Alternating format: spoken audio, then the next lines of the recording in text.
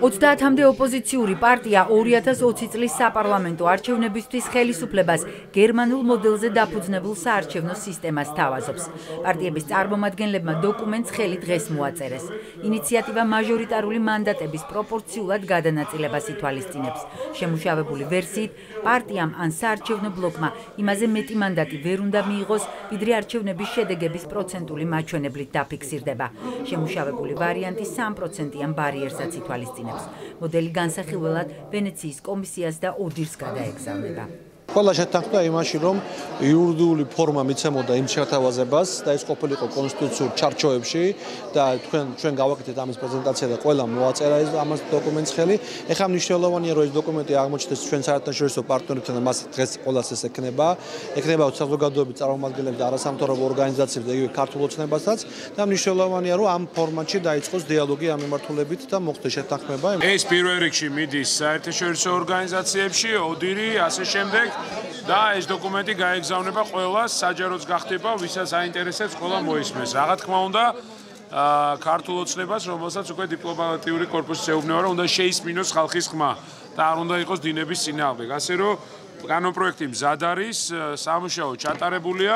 ეს არის დამოკიდებული, რამდენად გონივრულად მოიქცევია. გონივრული მოქცევის შემთხვევაში პერსპექტივა იქნება კრიზისის ჩაცხრობა და არჩევნებამდე მშვიდად მიცვა. თუ გონივრულად არ მოიქცევია, მაშინ გამიჭirdება პროგნოზირება იმისა, როგორ განვითარდება მოვლენები და მოვლენების განვითარება შეიძლება აღმოჩნდეს ძალიან წვავე და მძიმე. მთელი სპექტრი. სხვა მათ შორის ერთმანეთთან ფასეულობებითაც კი ძალიან განსხვავებული ხალხი თანხდება თავარ თამაშის წესზე, რომ ხელისუფლება უნდა იყოს ანგარიშვალდებული ხალხის წინაშე და როცა სისხლი დაიღვარა და პირობა დაიდო, ესეთი დამოკიდება საზოგადოების მიმართ, გადაგაგდა და ფეხებზე კვიდია, ამას არავინ არ მიიღებს. და ამასთან ერთად თანხდება კონკრეტულ მოდელზე, რომელიც სულ ჰარმონიაშია კონსტიტუციასთან და რომელიც არის ნიშნულოვანი არა მარტო ამ ივანიშვილის მავნებლური ხელისუფლების ჩამოსაცილებლად საქართველოს მართლობიდან, არამედ მომავალშიც ნებისმიერი მთავრობის თუნდაც არა ასეთი მავნებლურის.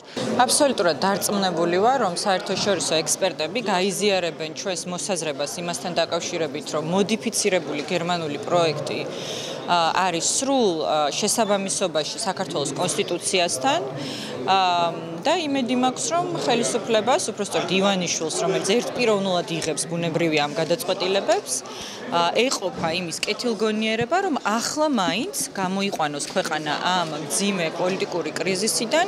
ოპოზიცია განმარტავს რომ შემუშავებული კანონპროექტი კონსტიტუციასთან სრულ შესაბამისობაშია.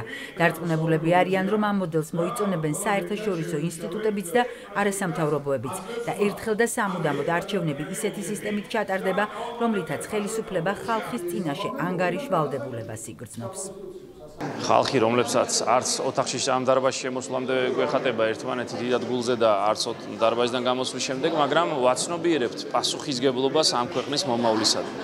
ჩვენ გვიყვარს ეს ქვეყანა და ჩვენთვის სულ ერთი არ არის როგორი იქნება ჩვენი სახელმწიფოს მომავალი და როგორ ჩატარდება ხოლმე არჩევნები, როგორ პოლიტიკურ სისტემაში ვიცხოვრებთ, რაც განსაზღვრავს ამ ქვეყნის ბედსა და მომავალს. ამიტომ ისევ ჩვენ ვთავაზობთ გამოსავალს და ისევ ჩვენ ვუხსნით კომპრომისისთვის გზას და არც არავინ არ დაიწყებს ნიშნის მოგებით და თითის ჩვენებით ლაპარაკს, რომ აი ნახეთ რა დღეს ჩავაგდეთ თქო, იმიტომ რომ ჩვენთვის კიდე ერთხელ ამბობ ამ ქვეყნის ბედი სულ ერთი არ არის და სულაც არ გვინდა რომ ახალ წელს აი ესე ქუჩაში აა რა იმით რა ქვია, ერთმანეთის დევნით ვიყოთ დაკავებულები და ასე შევეგებოთ 2020 წელს. საჭიროა პოლიტიკური გამოსავალი მოიძებნოს ამ შექმნილი კრიზისიდან, პოლიტიკური გამოსავალი არ არის ის რომ დაიხურა თემა და ესეთი განცხადები, რომელიც გვესმის სამწუხაროდ მართლ ძალის წარმომადგენლებისგან, პოლიტიკური გამოსავლის ერთადერთი ცივილიზებული გზა არის იმ საარჩევნო სისტემაზე შეთანხმება, რომელიც ყველა პოლიტიკური ძირითადი მოთამაშისათვის არის მისაღები. ყველა შემთხვევაში, როდესაც წინასწარ არის გაცხადებული ხელისუფლების მხრიდან, რომ ისინი არ დაეთანხმებიან ამ მოდელს, ძალიან მნიშვნელოვანია, რომ ვენეციის კომისია, რომელმაც უნდა დაწეროს დასკვნა საექსპერტო მოსაზრება ამ საკითხზე შედგეს ესეთ პოლიტიკური შეთანხმება რომ ექსპერტებს მივანდოთ. როდესაც ერთი მხარე ერთ ამბობს მეორე მხარე მეორეს ხო? რაღაცა საერთაშორისო მედიაცია სწორედ იმას ნიშნავს რომ საერთაშორისო ექსპერტებმა თქვან ამ კანონპროექტთან დაკავშირებით კონსტიტუციასთან თავსებადობის პრობლემა არის თუ არა.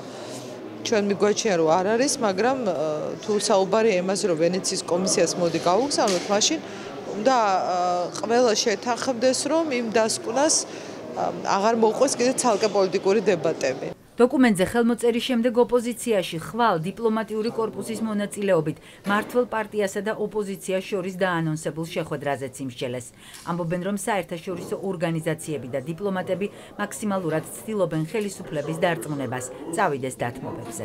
ერთიანი ნაციონალური მოძრაობისთვის ძალიან მნიშვნელოვანია, რომ ამ შეხვედრაზეც თუ ეს გადაწყვეტილება მივიღეთ, რომ დავესწროთ სრული ოპოზიციური კონსენსუსი არსებობდეს ფორმატთან, საკითხებთან ფრონტთან და მონაწილეობასთან დაკავშირებით, იმიტომ რომ ამ ერთიანი ფრონტის შენარჩუნება, რაც მართლაც უპრეცედენტოა, ჩვენთვის არის ძალიან მნიშვნელოვანი. ხელისუფლება თანახმა იქნება, აგერ არის კანონპროექტი, ყველა ჭირვეულობენ, გავაგზავნოთ ვენეციის კომისიაში, ოდერის ოფისში, დამველოდოთ კონსტიტუციურად და არა ისე ხისტად